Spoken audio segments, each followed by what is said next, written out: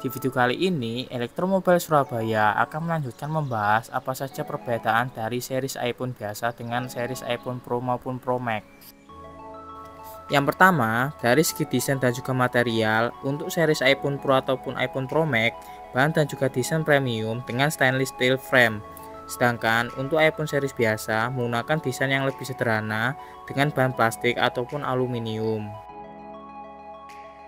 Yang kedua adalah fitur tambahan. Untuk series iPhone Pro maupun iPhone Pro Max pada model ini sudah memiliki sifat tahan air dan juga dukungan internet 5G. Sedangkan untuk series iPhone biasa pada model ini tidak memiliki sifat tahan air dan juga tidak semua model mendapatkan internet 5G. Yang ketiga adalah dari segi harga.